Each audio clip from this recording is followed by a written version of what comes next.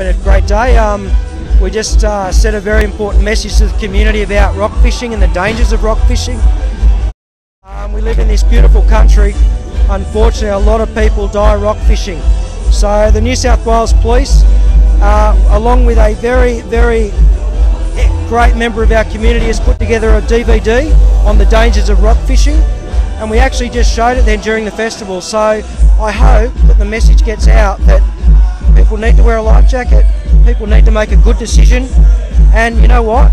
Those wives out there, tell your husbands that they need to make good decisions.